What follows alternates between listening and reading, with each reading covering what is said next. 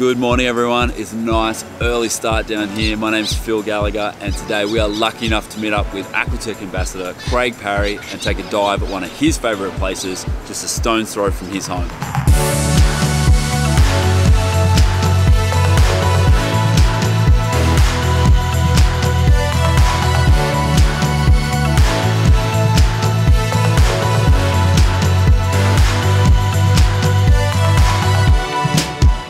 Right, so our captain has arrived, Craig. Good morning. Welcome. Thank you. Everyone, this is Craig Parry, long time. Aquatech ambassador, the Sony shooter. And as I said today, we're going to go for a swim with Craig. He's going to be using the new Edge Sony water housing. So, great. how are the conditions looking? Magic, mate. We haven't had a day like this in three weeks. Just Yeah. dead calm, no Okay. swell. It's been a bit of a battle this season with swell, like winds from the north and south. But Yep. now it's yeah, it's a perfect day. There's a lot of boats out today, which is means that there's a lot of pelagic fish out there and Yep. in good conditions. So we might get something pretty special, I think. Great. And what kind of things might we see out there? Well, I'm going to take you to Julian Rocks first, and then um, we might see mantas. It depends on the water temperature and the currents, but um, hopefully manta. There's a lot of eagle rays at the moment. but That's pretty much guaranteed. Fingers crossed, we might see some of that. So it might be all yeah. happening. Yeah, and le- leopard shark. So Oh, wow. yeah, Okay. So we'll see what we go. So, as you've seen, Craig's promised us a bit of everything today. so, we'll get ready, we'll get this rig in the water, and um, hope you guys enjoyed the ride today.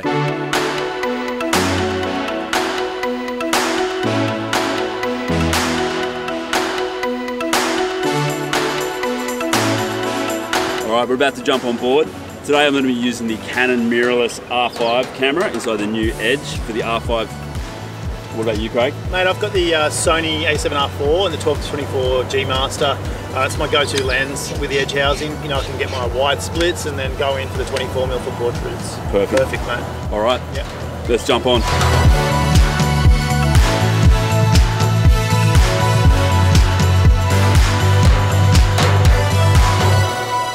All right, so we made it out here to Julian Rocks. How's the conditions looking, Craig? It's it's okay. We- We've probably got a you know five to ten meter visibility out here. We had a bit of northerly yesterday, which stirred the ocean up. Um, so we're gonna go in the shallows, stay around the ten meter mark, and um, see what we can find. It's it's it, it, the water's nice and warm, so we will see, see some of those bigger animals. Like so, we'll see what happens. Yeah. Yeah. And out here Julian Rocks, just tell us a little bit about the setup out here. Is it um, any particular little sections of the reef that you? Yeah, like on a good day, like on a, on a you know a day where we've got 20 meters visibility, I'll just do a full circle of the island here um, with my flippers on, and and if if it's you know it's quite deep on this on this side, which is the eastern side of it. The western side's a little bit more protected, where you'll see the turtles and the, the juvenile animals around the corner. Over this side, you'll see the bigger fish. Um, you know, you'll see your dolphin fish, your mackerel, all that kind of Right. stuff feeding. And so it's a lot deeper here. You know, it starts off at about five meters and goes down to about 15, whereas the other side, three meters down to about 12. Yeah. Right. Cool. So a lot of different options out there. Yeah, it's great. It's this is you know, I, I, I dive around Australia a lot and all around the world, and this is you know one of my favourite places because you've got in the winter time you've got the winter species coming, and, and in summertime you've got the summer species, which is a it's a bit of variety for me, and sure. it's, it's great. It's only it's not far off the coast. I know, yeah, yeah. We can see Byron Lighthouse in the background behind us, and it's such a beautiful spot here. So Yeah. it's, being able, it's pretty great to be able to do this in your own backyard, isn't it? so blessed. So talking about um, options there, one of the things that really stands out to me with the edge housing for a Sony shooter like yourself is the fact that these housings will cross between multiple different Sony models. For example, this one here, which is the um, the Edge Sony Mark II, it's listed as. It'll work with the R4 that you're shooting with Yep. today. But then also you can put the new A7S III Yep. for any of your video work. Perfect. But then also the A9 Mark II if you're a sports shooter or you just need that frame rate and focus. So how does that play out for someone like yourself who shoots a huge range of things? Well, like you said, today I'm shooting the A7R4. I use that camera um, for the high resolution stills for my gallery and my print sales. Uh, then the A7S III, my client, if I'm working for video, then it's great. You know, I can get on set and use that and shoot 4K 120 or 4K 60, whatever you want to do. But then uh, you know, if I'm on production and, and they want stills of like, you know, for example, I was in Norway uh, last year and shooting surfing, and um, you know, I had the A9 Mark II, so it had that versatility because I need, you know, the A9 Mark II needed a high frame rate, so you know, I'm shooting, you know, 20 frames a second, and I really need to get that shot of, of Sure. the client either the focusing surfing. Yeah, is critical oh, and it's just that frame yeah. in between the frames kind of thing. Totally, just like, and it's it's, it. it's to have that to have a, a housing with that caliber which can fit all those cameras in is priceless for my job. And Yeah. I mean, for a lot of guys out there working with Sony cameras, um, you know, you've got the they've got high resolution camera, and they get your sports camera. It's Yeah. nice to have that fit in. So for sure. yeah. And for anyone who's actually using the older Sony cameras as well, so that the Edge Sony Mark II will fit the, those older cameras. So you've got the A7R3, you've got the A7 III, and you've also got the original A9 will work in that body. So Craig, you've been lucky enough to be able to use this on a recent trip. We went away with your family up to the Yeah. Great Barrier Reef. Um, tell us a little bit about the changes that you noticed, or some of those things that really stood out to you. The best thing about it is the, the, the compact size. You know, I've, you know, it's so nice and tight and small now. Everything's nice and compact. So the ergonomics are amazing. Um, also, you know, the, the flexibility of having just the two clips there um, and then the hinge just gives me that extra confidence that I know the thing's locked. So for me, uh, shooting mirrorless is something pretty new. Yeah. You know, I've gone from SLR to DSLR and now to mirrorless. And for me, um, you know, that's only a recent change to move to the R5s.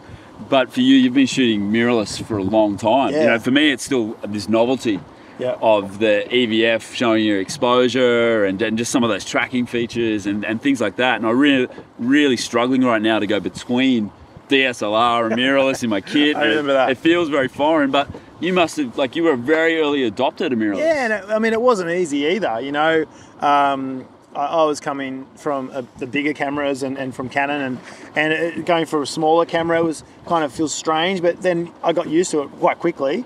Um, but yeah, the, the whole mirrorless thing, uh, the evolution of mirrorless has been a real game changer for me. Like I, I've, uh, my images have improved. You know, it's, it's just I, I, I like the whole system now. It's pretty much limitless what they can do with mirrorless, and not having that mirror in front of that uh, sensors just changed everything. Today on the R5, I'm going to be using the 24mm prime. Uh, for me, that's a really uh, personal favorite underwater. I like the way that it, it, it's sort of wide, but it's also great for a little bit of detailed shots. Righto. So, you ready? Yeah, let's go for a swim, mate. Yeah, the dive boat's turned up, um, so we'll see what we can find underneath water.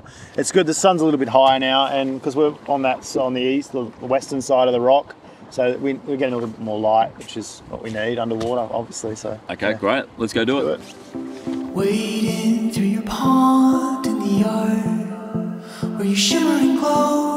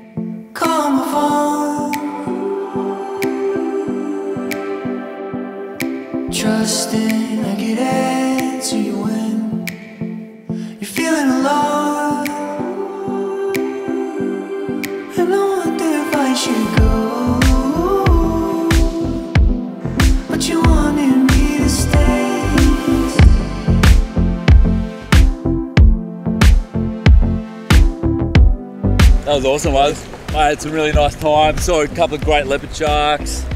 Had some turtles at one stage, pretty awesome. Yep. And just the- like the just the fish life, you know, there's so many different little colours and schools of fish.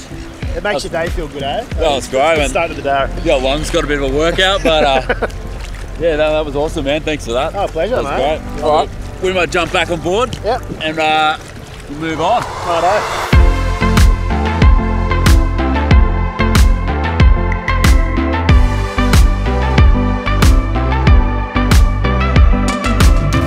All right, Craig. Thanks again, mate. That was an awesome morning. Really, Pleasure. really appreciate you taking us out along for the ride. Good. I love sharing it. it's beautiful. Yeah. So I think just finally, of someone who's used the housings so much over so many years, many generations of housings as well, um, have you got any advice for people who have got questions or anything like that, who may be either considering investing in the Edge or maybe even upgrading from things like the Elite housing um, for those Sony cameras that Mm-hmm. yeah. you use? Yeah. I mean, the cam the, the housing itself is formed for the for the alpha range. You know, it's, Yeah. it's, it's the the camera's snug inside, so there's not much room around. So you, you're not going to get any light leaks coming through the back of the camera like Yep. you used to. Um, everything's just tight, small, ergonomical. Like I can, every button's just accessible for me. So Yep. um, yeah, I, I think it's mainly the size and the form factor of the, of the housing that I really like. I guess also you've got that advantage of being able to bring across those accessories like lens ports and pistol grips and all those kind of things into this new housing as well for those people who might be moving from the Elite A7 original Sony series Sure. as well. So it's just the housing. If you've got all that, then just bang the housing and you've got it. You've got the whole setup. So it's much much easier. Cool. All right, Craig. Well, thanks again, mate. Pleasure. Really appreciate Yeah, it. Enjoyed it. And I hope you guys enjoyed tagging along today out on the uh, high seas with Craig. And if you've got any questions about any of the Edge technology that's out there or Sony related camera questions, anything like that, be sure to reach out to the Aquatech trained staff via the website. There's plenty of help there.